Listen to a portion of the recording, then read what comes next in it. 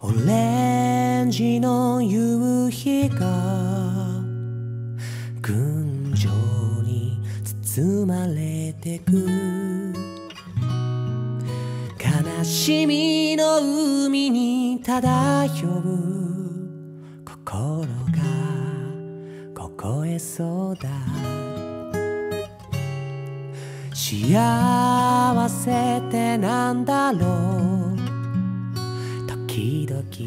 わからなくなるよ。ただそばにいることが今ここにあるすべて。さよならだけに灯る光があるよ。追いかけても追いかけても手は届かないけどさまよう君を優しく照ら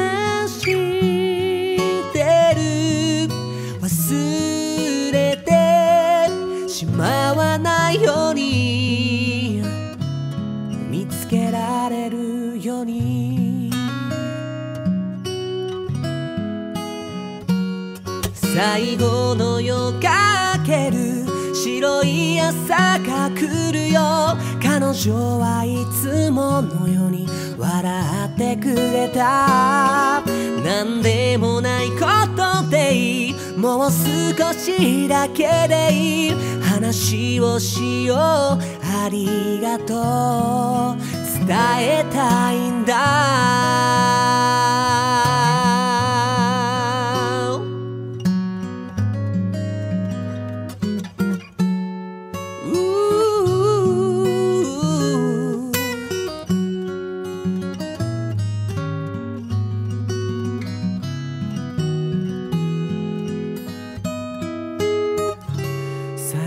ならだけに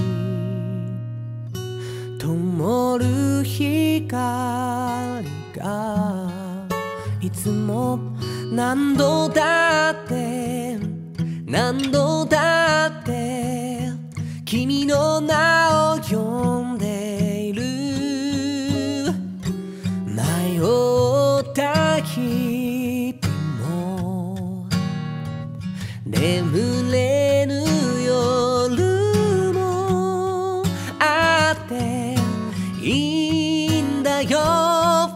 だから君は優しくいられるのだろう。さよならだけに灯る光があるよ忘れてしまわないよう。に見つけられるにいつもそばにあるから。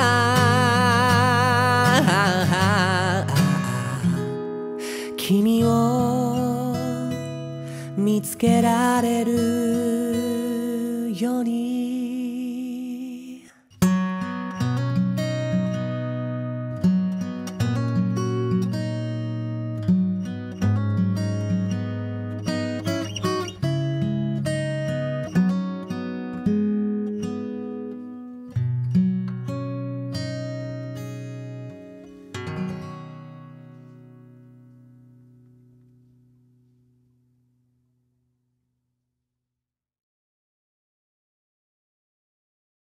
中川博光です、えー今回は「東大」という僕の曲を歌わせていただきました。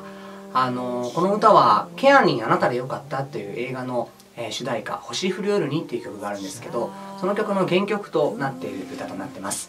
あの歌詞がちょっと違ってて、えー東大の方は見取りをテーマにですね「さよならだけに灯る光がある」っていうことをテーマに、えー作らせていただきました。僕もねもともと介護士だったんで、まあ、いろんな仕事の中でも、別れとか、えーいろんなことがあったんですけれども、まあ、実際に介護の仕事を現役でされてる方にもたくさん取材をして「えー、看取り」っていうものがどういったことなのかとか「えー、さよなら」っていうものはどういうものなのかっていうことを、まあ、テーマにね歌を作りたくて書き下ろしをしました。最近だとあの「100日後に死ぬワニ」がすごく大ブームだったと思うんですけどきっとあの作品も同じで、えー、誰かの死っていうものにね向き合うと普段自分の小さな幸せっていうものがですねすごく素晴らしいものに思えたりとか、えー、人との出会いとかつながりだったりというものが本当にすごく素敵なものだなっていうふうに気づけることができて、えー、そういうのはきっとね誰しもの胸に響くものだとね僕は思ってます。なので、えー、辛いお別れを経験された方なんかに届くといいなと思っております。はい。であのレンズがね変わったんですよ。今日今まさにこのレンズなんですけど今までの動画と何か違うところがあってほしいなっていう感じなんですけど、まあ、まだちょっと使いこなせてないんで、えー、少しずつねちょっと使いこなせていけるように頑張っていこうかなと思います。ピント合ってんのかなこれ。難しい、えー、ということで本日の動画はこちらになります。香川ひろみつでした。チャンネル登録ぜひよろしくお願いします。バイバイ。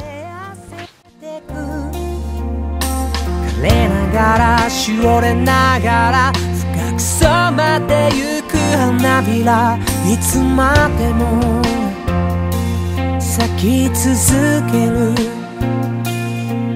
君の口癖聞こえた気がした。街の音